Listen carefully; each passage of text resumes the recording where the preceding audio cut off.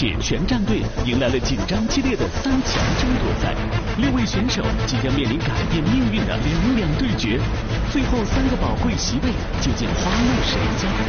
即将出战的阵容是河洛大鼓传承人孙宁，宣传干事董玉，基层人气爆棚歌手殷中亚。强曲搭档活火山组合，我先来，我先来，你干什么？阳光帅气舞者施维，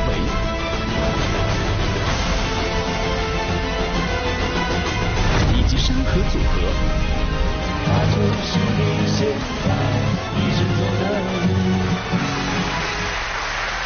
他们当中究竟谁能捍卫铁拳战队的尊严？让我们现在为您揭晓。铁拳战队三强争夺赛正式开始。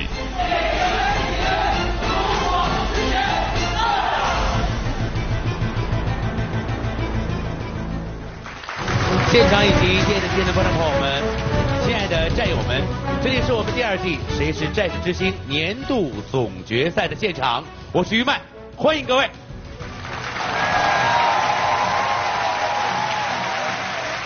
好了，今天呢，进入到我们的铁拳战队的队内淘汰赛。所以今天对于大庆老师、对于杨舒老师两位来讲是非常非常的纠结。结果怎样，我们拭目以待。大庆老师、杨舒老师，两位准备好了吗？呃，准备好了。这个我们想呃说两句。可以。我和杨老师我们已经商量好了，对他们的去和留。完全看今天的表现，因为他都他们都旗鼓相当。那么，我希望他们能够发挥的好，这个希望他们不要紧张，拿出最好的水平啊！这个精神点，拿出精神头来啊！好，嗯，我们来看看今天到底孰强孰弱。而且我也知道杨舒老师今天也准备好哭了。跟我说准备好流泪，我说为什么？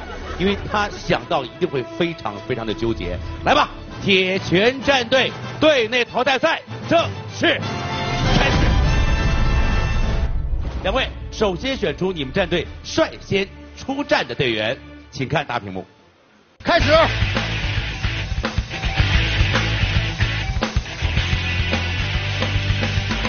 停。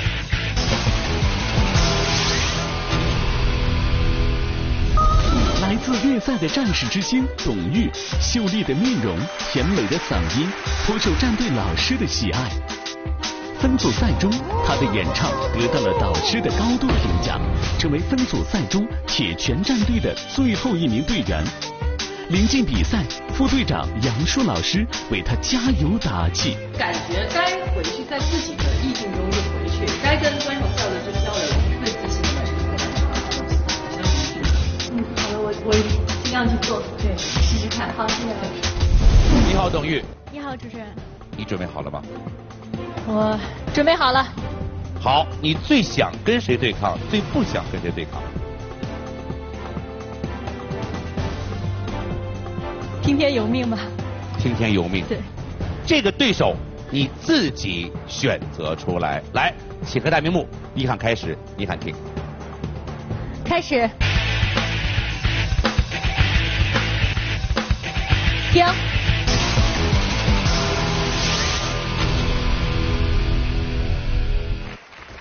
是今天穿的格外妖艳的施维。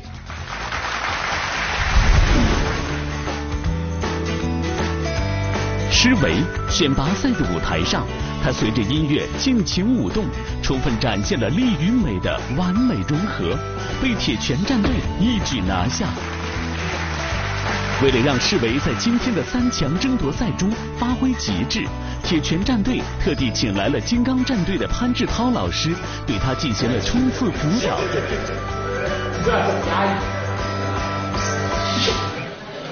对了，这是一只欢乐的鸟，是一只精灵的鸟，而不是一只严肃的鸟啊！今天的对决，究竟谁能独占鳌头？有请董玉带来歌曲青春舞曲。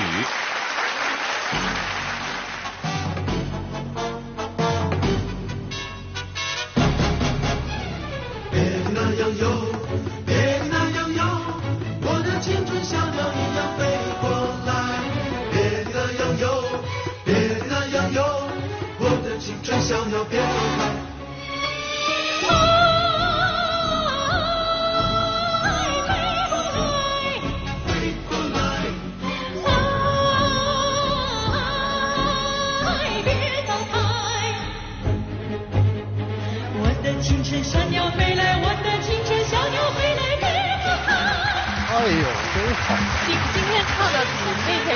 天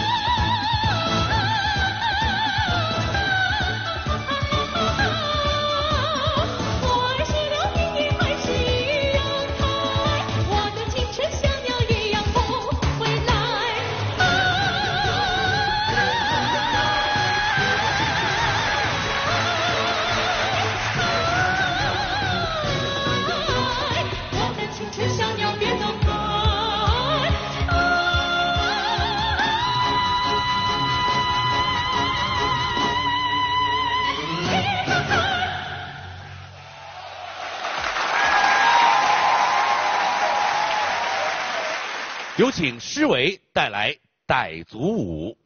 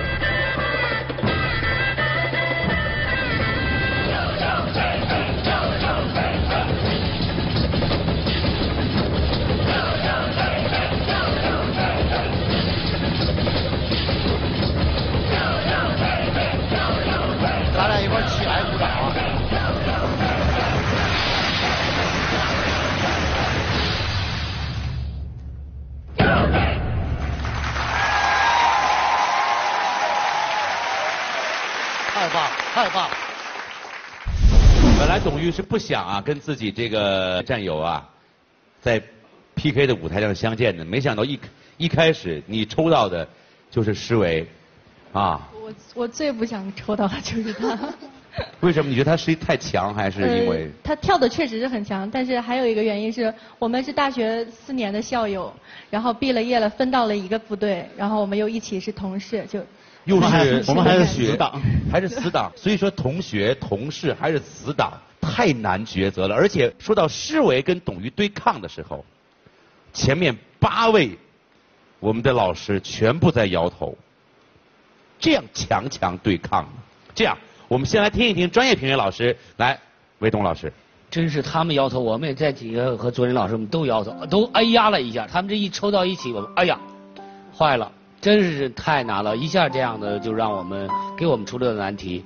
但是最后难题肯定在大庆那儿，谁让他当时过来呀？这招啊，对不对？现在现在嘚瑟招啊，完了，你看摇头了吧？一个是军中百灵，一个是舞蹈王子，对不对？一个是用声音跳了一个舞，一个是用一个无无声的去唱了一首歌。所以您对刚才侍卫这段舞蹈非常的满意。太满意了，他真是唱用无声的语这个歌叫无声的歌，他特别完美，从头一开始往那一进入的时候，他的就给你带入到那里头就，一直流下来。所以伟东老师，您也在纠结，对吧在纠？结来，我们问问薛东老师，您从歌这方面来看，这个董玉呢，他我觉得这支这支歌，它是一个王若斌的一个青春舞曲的改编的歌，哎，它样式和大家一听起来，完全和以前的那种青春舞曲不一样的，里边它有西域的东西，它又有这个探戈的节奏，它又有一点这个花腔的东西在里边，所以它，而且它这这支歌呢，从头到尾，包括最后的高音，我都替他捏了把汗，完完成的非常好，谢谢老师。真是很纠结。谢谢我们的两位老师。来，楚老师，我们来听战队。呃，大庆，楚秋你说，这个舞蹈非常好，舞蹈啊，啊它能控制身上很多块肌肉，这是一般人达不到的。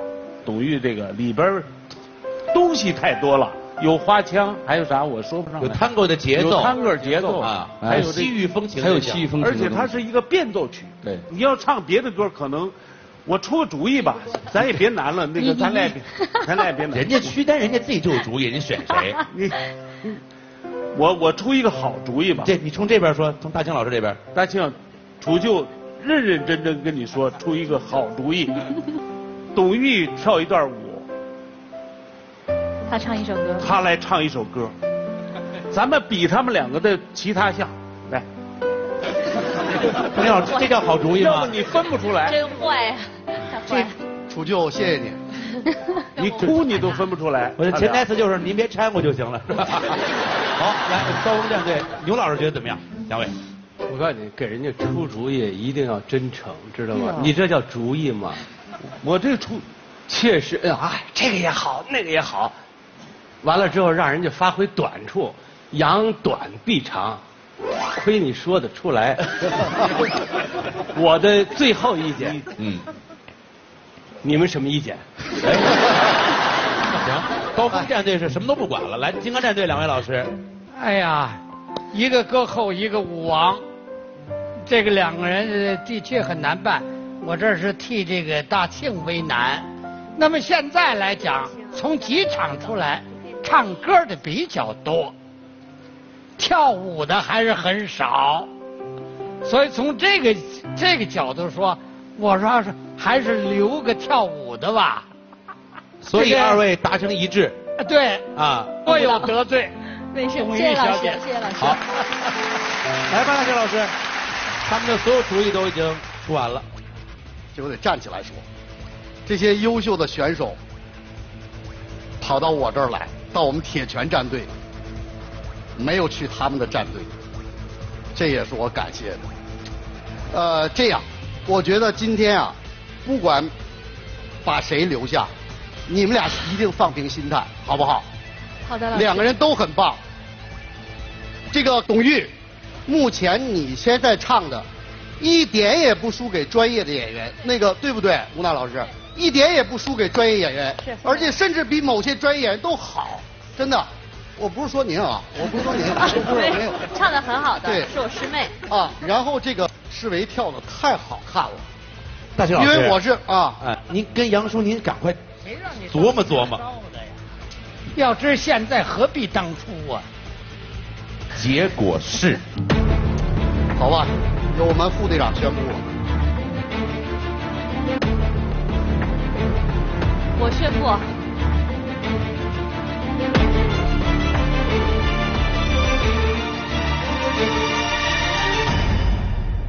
市委恭喜市委。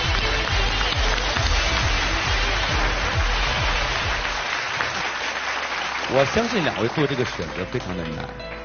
董玉，你虽然离开，但我觉得你已经胜利了。我一直觉得在我们战队里，你有可能是拿第一的。啊、但是这种这种这个选择我没有办法。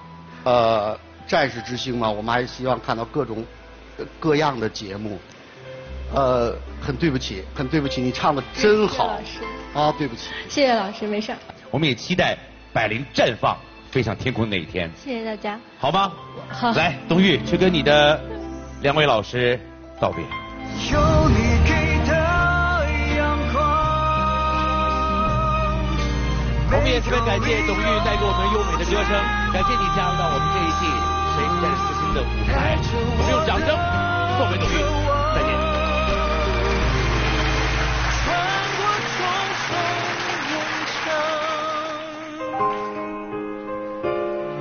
淘汰了，但是呃，我还会继续在唱歌的这个这条路上继续走下去。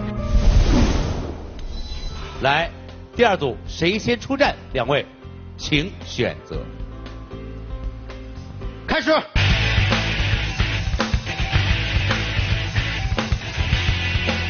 停。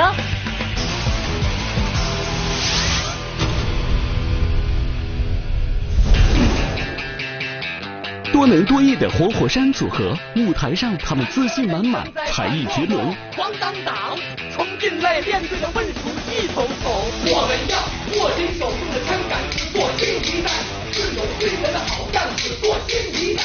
大庆老师赛前对他们进行了精心指点。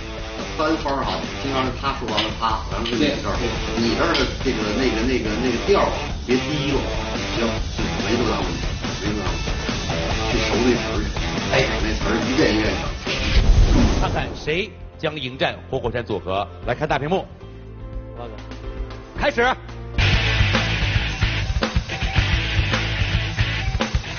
停。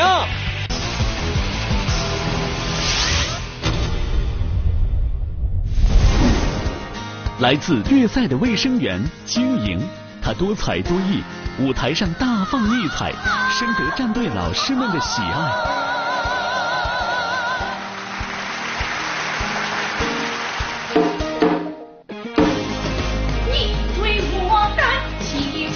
负铁拳战队队长尚大庆老师在比赛前对经营的节目进行了冲刺辅导。咱这个啊，有点什么问题呢？就因为他没有字幕啊，有的观众会听不清。呃，另外咱也倒个口，尽量清楚啊，你就把激情放出来，把情绪放出来。我就说一句话啊，我就问你们仨一个问题：你们仨老爷们儿好意思欺负人家吗？不好意思啊，不好意思怎么办？不好意思，就让他欺负我们嘛。不好意思就要拿出自己最强的实力来，这也是对经营所讲的，好吗？拿出你们的十八般武艺，好好的展现给我们所有的战队老师以及我们的评委和观众朋友，掌声欢迎他们两位。两组曲艺间的争霸，铁拳战队该如何抉择？有请活火山组合带来快板《样子歌》。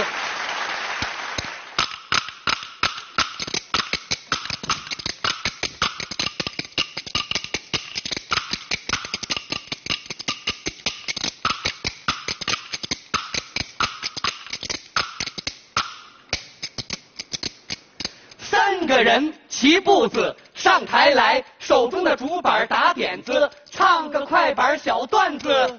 大家的掌声让我们仨人有面子。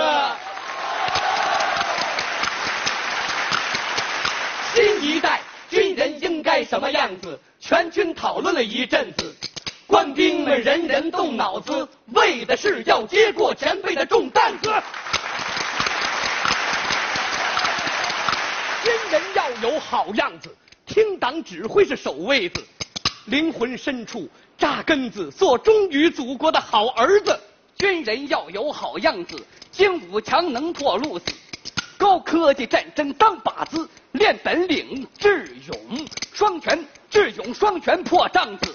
军人要有好样子，刚毅血性硬汉子。上战场如同虎豹子，戳穿墙壁花架子。军人要有好样子，优秀品德住脑子，严守纪律有尺子，伸张正义，伸张正义护根子。好，树立军人的好样子，要克服害怕困难、甘愿落后、装熊包、草包的软样子。树立军人的好样子，要去除表里不一、装腔作势、虚头巴脑、不干实事的假样子。树立军人的好样子，要反对假公济私、有错不改、无理取闹、不务正业的歪样子。树立军人的好样子，我们要斗争。贪污腐败、违法乱纪、结党营私、买官卖官的坏样子、软样子。嘴上光耍着嘴皮子，到了关键时刻掉了链子。呃，假样子工作起来半吊子，这个弄虚作假出了岔子。歪样子偷机取巧钻空子，损公肥私，损公肥私通路子。军中的败类，让人咬断牙根子。买官卖官靠路子，不靠本事靠票子。他们到头来呀，准得戴上那个手铐子，把他送进里边蹲耗子。好，把他送进里边蹲耗子。看新招，强军目标定位子，四有要求引路子，军队建设迈步子，咱们跟上时代的车轮子。我们要握紧手中的枪杆子，做新一代四有军人的好样子，做新一代四有军人的好样子。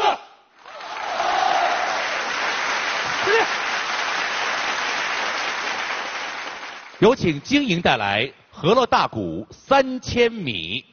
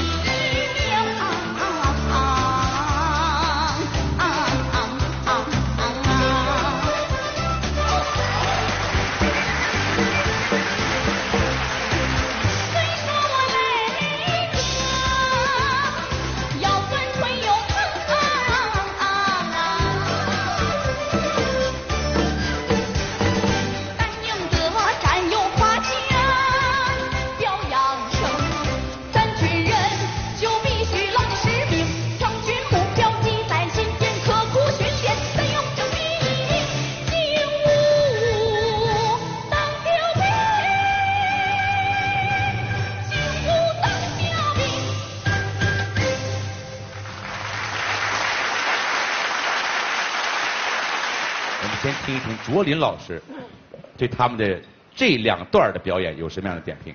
我觉得今天呢，这两组表现的都非常非常的不错。呃，这这个小姑娘这个河洛大鼓哈，呃，呃，第几代传人是吧？第五代传人第。五代传人对是吧？有一句话就说“吐字不清如钝刀杀人”。我的意思是什么呢？因为曲艺啊，你不像歌曲是吧？他有的时候那么好咬字，但是我觉得曲艺更强调的是，你一定要把字咬清楚，要把每一个字送到观众的耳朵里去。希望你在这方面再加强一点，把这个字咬得更准一些，归音归得更准一些，好不好？这是我个人的建议，不一定对啊。更干净一点。没错，没错。那么说的这个快板呢，这个这个小段子段子的不错，非常有部队的气息，而且你们三个呢很有冰棍儿。这个尤其是这个小刘哈，嗯，非常有这个曲艺的天赋，看得出来你们三个当中啊，应该说是领衔主唱、主演的、领舞的啊，已经非常非常的好了。谢谢老师。嗯，好，谢谢谢谢周林老师，对两组点评都很高，但我们的战队也都给铁拳战队出点主意。先牛群老师，我就提点儿建议吧。我就刚才呢，卓林老师讲的已经是很到位了。我觉着啊，你用科学的发声方法固然很好，但是前提是不丢河南的味道。这样我觉着，呃，就更加地道。当然了，这个我们的快板儿可能刚才也说了，都能够自己创作。这么有激情，反映咱兵的生活，就这一点是非常了不起的。按说呀，你这个题材很大，或者说很重、很正，可是呢，用儿化韵来当底折，或者用子当底折，这实际上这是一个开了一个小的俏皮的，或者说情趣的，或者叫是幽默的这么一个切口。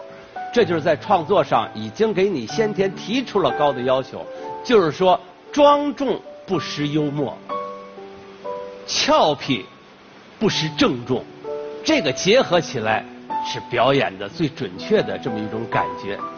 我觉着旗鼓相当。您觉得最后您会偏谁呀、咱们咱们说什么再给点主意。我们的主意就是没主意。啊，好，高峰没主意，楚舅，我说过几年的快板啊，我我说过。就您不招人了，也还会还还用这招，是吧？不是这个，真学过这这是真的，这是真真学过啊真学过。您就说您想选谁这两组？这个我呢跟那个文琪老师是一样，因为我不是说快板出身嘛，我嗯就我呢，我我还是比较比较看好快板，哎，但是他呢看好经营，我们俩又干起来了。啊，这个我觉着他让他们唱一段经营的那个河洛大大鼓让让经营说一段快板儿，我觉得这个特别公平。又是一馊主意。哎，来吧，大庆老师。啊，哎呀，以后我觉得您有什么事儿也别求助于楚这个楚舅了，是吧？呃，其实我们俩挺纠结，但是我们俩刚才已经商量好了。最后决定这两组谁留下，谁淘汰，想好告诉我们。我们最终选择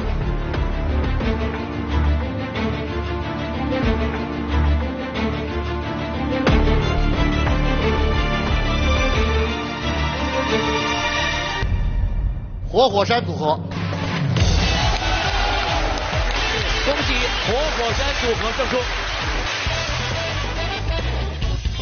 可以准备后面的环节了，谢谢。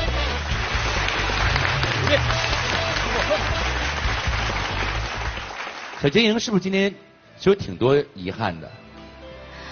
我觉得其实也没有遗憾，因为我感觉我把就是河洛大鼓带到了中央电视台的舞台上，我已经很开心了。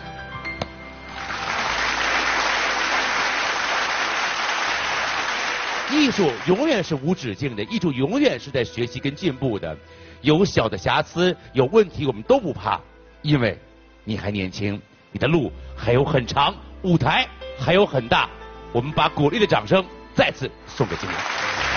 谢谢大家，我一定会坚持下去，把我们中国的传统的老祖先留下来的民族文化传承下去。谢谢你们，希望你们也支持我们的民族文化。谢谢，我们也谢谢晶莹。去吧，跟你们两位老师去道别。别看晶莹个头小，但是他用自己的力量跟肩膀扛起了这样一门传统艺术的传承。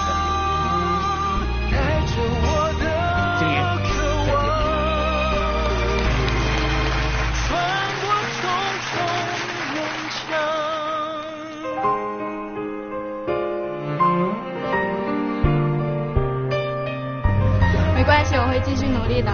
谢谢大家。好吧，那么我们的铁拳战队现在两组胜出，还有最后的一组选手，那就是山河组合来对阵殷中亚，我们掌声欢迎他们。山河组合，他们是来自同一伪装连的两位基层战士，吉他和二胡完美的结合，让我们领略到别具一格的音乐美。选拔赛中，他们杀出重围，加入到了铁拳战队。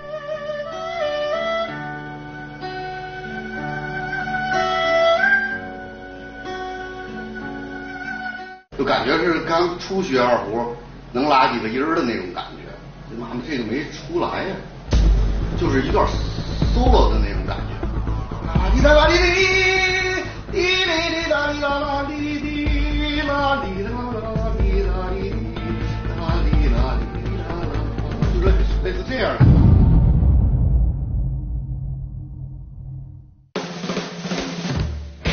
殷中亚舞台上，他是一颗耀眼的小星星，沙哑的嗓音，俏皮的表情，征服全场。分组赛中，乐队主唱来到了现场，为他加油助威。今天，山河组合对战殷中亚，铁拳战队最后一个三强名额究竟花落谁家？有请山河组合带来歌曲《当你老了》。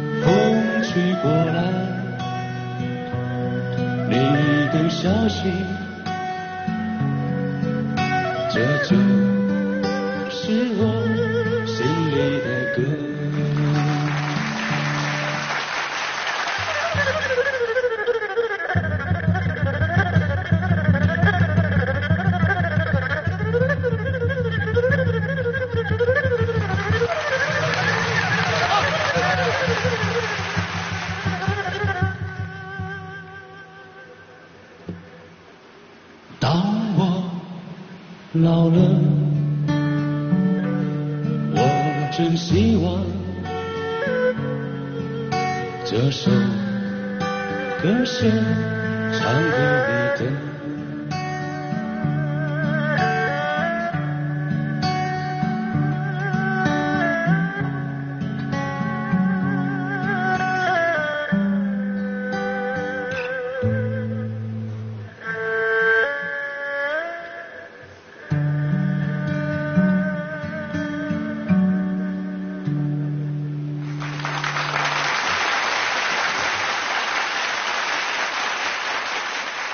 有请殷中亚带来歌曲《花房姑娘》。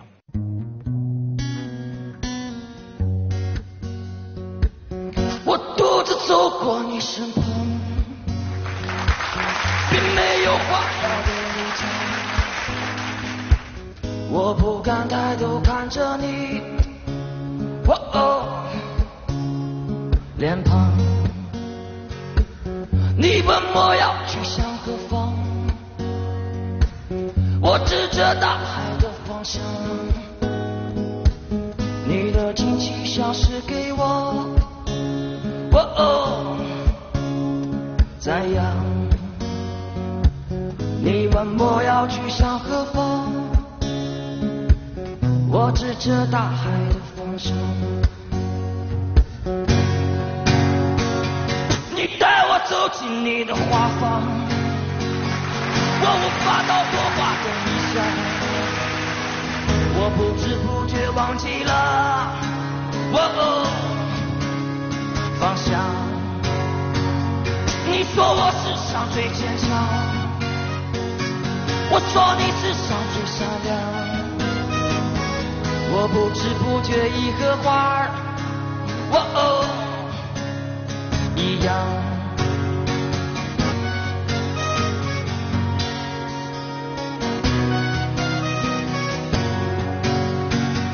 你要我留在这地方。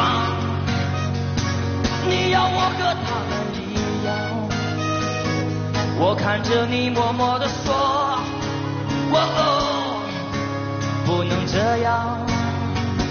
我想要回到老地方，我想要走在老路上。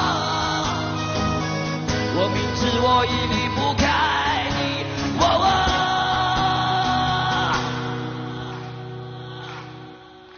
我的姑娘。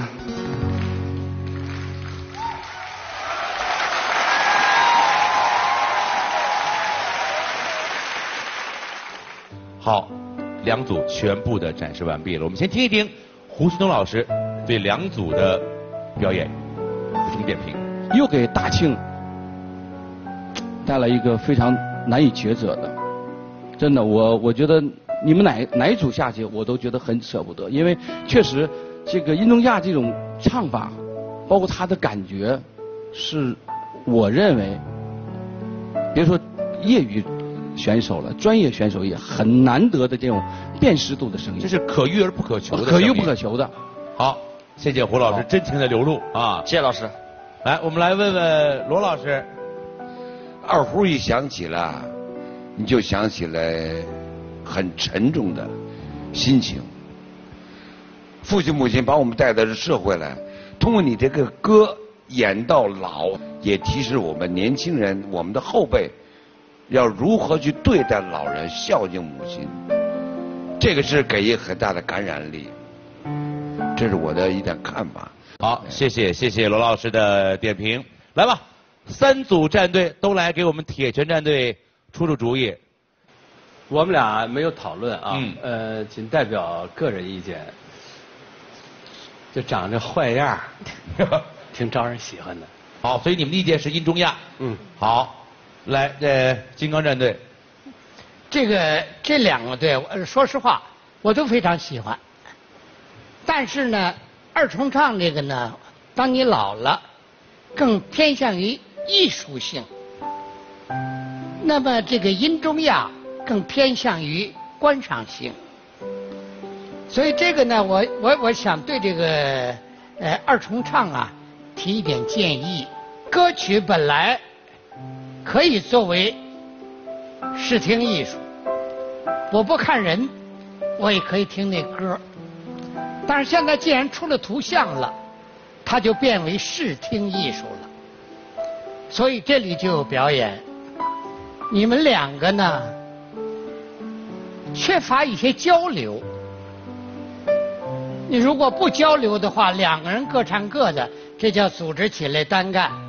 那个殷中亚呢，我也提一点意见，当然不会提那种说你嗓子破了，因为你本身就那嗓子就挺破。这个 就是原来我们说的破锣嗓子就这声是吧？对对，原来就很破。这应用经常说的莎士比亚呀，再沙再哑，有些词儿也得让我们听清楚。所以说呢，您这个战队最后决决定了吗？更偏向于谁？我我。我偏向于观赏性比较强的殷中亚吧。殷中亚谢谢老师。好，恭喜殷中亚。雷霆战队给出你们的意见。对我我我觉得我想，我其实虽然是重复，但是我觉得，呃，刚一开始，呃，我们山河组合拿着这个乐器上台的时候，我就想，这两个乐器放到一起是个什么样的感觉？哦，原来是，其实还是挺美的，挺优美的。提一点小小的意见，你们其实可以放松一点，唱歌嘛，就不不要把它当成一种事儿、工作玩儿，更随性一点。对，对吧？就是像他一样去玩儿音乐。对。好。大金老师，哎，看你们最后怎么决定？队长，你说吧，跟他没话。我跟大靖老师说，我就跟他说，因为其实对那个山河组合特别不公平，因为我我他那个英中啊没有唱歌的时候，我就太喜欢他了，我太喜欢他了，就是真的是基层战士的那种那种感觉，所以他不需要唱歌。他是骨子里边带的这种感觉。对对对，而且而且不是说说给他打电话的时候，他正好在南京抗洪嘛。嗯。他就是我心中的战士之星。他，我给大家讲讲他这个故事。这个我们导演组杨导啊，告诉过我一个事儿，就是他们在这个跟演员联系，因为他们都选上了嘛，唯有这个人联系不上，这把剧组急的呀。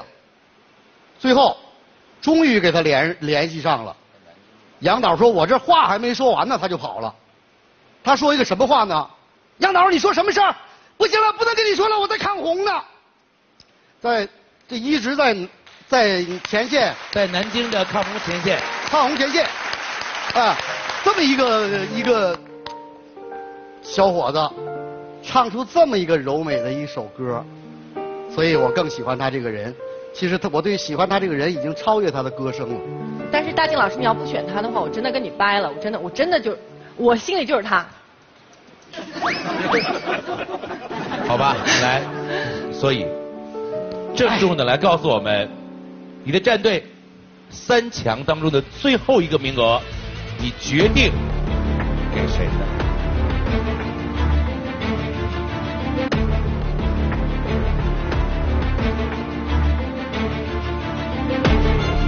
那我就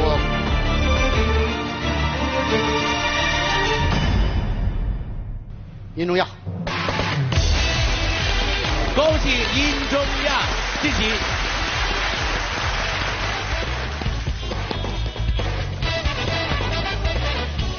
好的，恭喜殷中亚！当然，我们要把鼓励的掌声送给我们的山河组合。这么一点时间，交给你们，有什么还要表达的？我们两个能够走到这个战队里头 PK，其实我们已经非常的知足了。我说呢，今天我们之所以选这首歌，是为了表达一下，就是对我们。父母的这个感激之情，因为我们在部队里服役，确实不能做到忠孝两全，呃，还要想这借此机会向我母亲说一句生日快乐。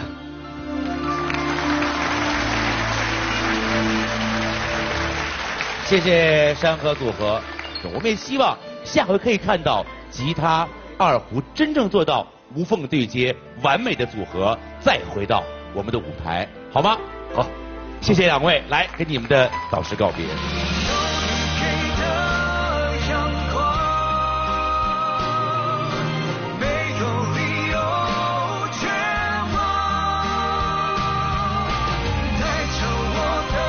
让我们用掌声送别二位。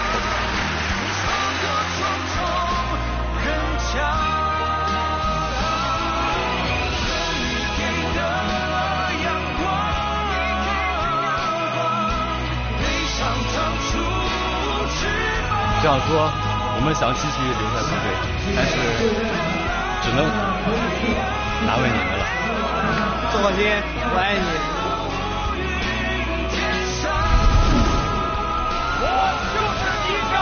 下周将迎来金刚战队和铁拳战队之间的对抗赛。